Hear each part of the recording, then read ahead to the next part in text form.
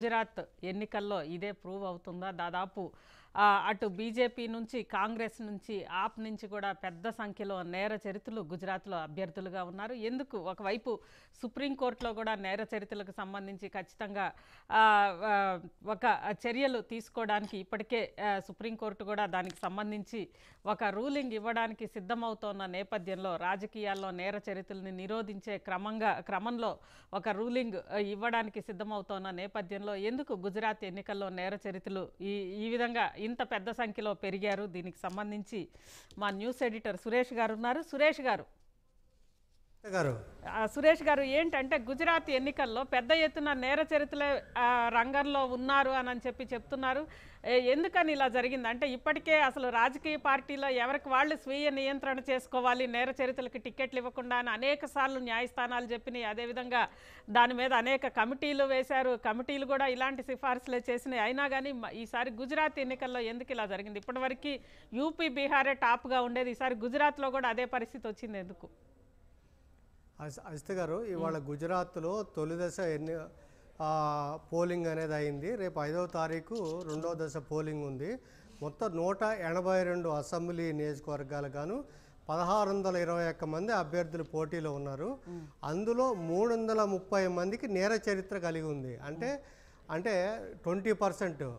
Association of democratic reforms ADR ప్రకారం మొత్తం వాళ్ళ అఫిడవిట్స్ను అన్ని ఎనలైజ్ చేసి దాదాపు మూడు వందల ముప్పై మంది నేర చరిత్ర కలిగి ఉన్నారు అని చెప్పని తేల్చి వాళ్ళ వివరాలు వాళ్ళ వ్యవహారాలు రెండు రకాలు ఇచ్చింది.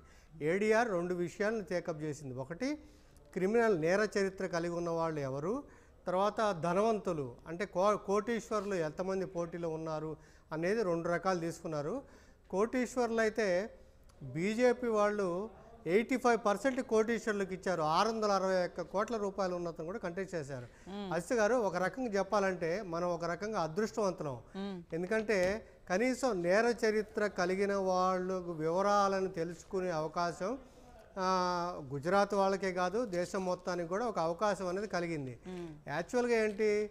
నేర చరిత్ర కలిగిన వాళ్ళని రాజకీయాలకు దూరంగా ఉంచాలనే ప్రయత్నం కోర్టులు కానీ ప్రజలు కానీ అందరూ కోరుతున్నప్పుడు నిన్న మొన్నటి వరకు కూడా. సీజే బెంచే ఇది దీని మీద విచారణ కూడా చేస్తూ ఉంది త్వరలో దీనికి సంబంధించి వస్తుందని అన్నారు కానీ అది మళ్ళీ కూడా పోస్ట్ పోన్ అయినట్లుంది కదా అజిత్ గారు అసలు ఎట్లా అంటే ఈ association of democratic forum reforms అనేది ఏడిఆర్ ఫస్ట్ పంతొమ్మిది వందల తొంభై తొమ్మిదిలో ఢిల్లీ కోర్టులో పిటిషన్ వేసింది. ఇట్లా నేర చరిత్రలో అలాంటి వాళ్ళ గురించి వాళ్ళ కంటెస్ట్ దానికి సంబంధించి వేస్తే ఢిల్లీ కోర్టు ఇచ్చింది. ఇట్లా నేర చరిత్రలు అలాంటి వాళ్ళ నుంచి దూరంగా ఉంచాలి దానికి సంబంధించి విధి విధానాలు ఉండాలని చెప్పని ఒక అభిప్రాయం వ్యక్తం చేసింది.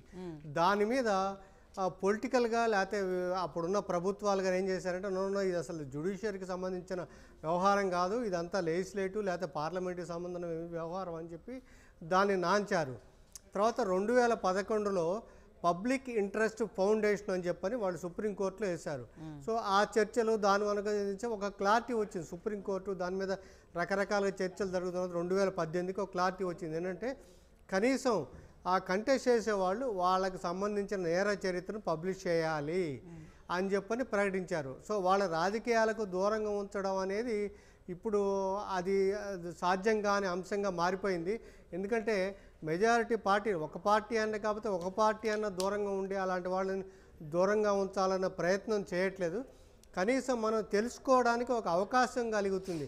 ఓ పలానా వాళ్ళకి నేర చరిత్ర ఉంది వీళ్ళకి వేయాలా వేయకూడదని కానీ పో అన్ని పార్టీలు అదే విధంగా ఇస్తున్నారు. రెండు వేల పదిహేడు కంటే ఇప్పుడు రెండు వేల పదిహేడులో జరిగింది ఎలక్షన్ గుజరాత్లో మళ్ళీ ఇప్పుడు ఇరవై రెండులో జరుగుతోంది. రెండు వేల పదిహేడు కంటే ఇప్పుడు నేర చరిత్రల వారి సంఖ్య పెరిగింది. అంటే క్రమంగా వాళ్ళ సంఖ్య పెరుగుతుంది కాబట్టి కానీ తగ్గట్లేదు.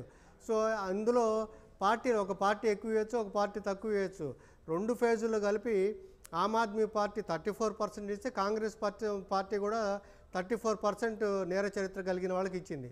అయితే బీజేపీ ఓవరాల్గా చూసుకుంటే ఏడీఆర్ ప్రకారం ఎయిటీన్ పర్సెంట్ నేర చరిత్ర కలిగి ఉన్నారు. కానీ కోటీశ్వరంలో లేకపోతే ఎక్కువ మంది ఆస్తులు కలిగిన వాళ్ళలో ఎయిటీ ఫైవ్ పర్సెంట్ బీజేపీ వాళ్ళకే టికెట్లు ఇచ్చింది. అంటే దాదాపు కాదు సురేష్ గారు త్రీ టైమ్స్ నుంచి బీజేపీ ప్రభుత్వమే గుజరాత్లో అధికారంలో ఉంది. కేంద్రంలో రెండు సార్ల నుంచి అధికారంలో ఉంది.